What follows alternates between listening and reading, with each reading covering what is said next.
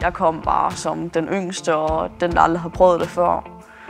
Og skulle ind og bare prøve det af, se hvordan det fungerede. Og så står man der til sidst, og man står og skal finde førstepladsen.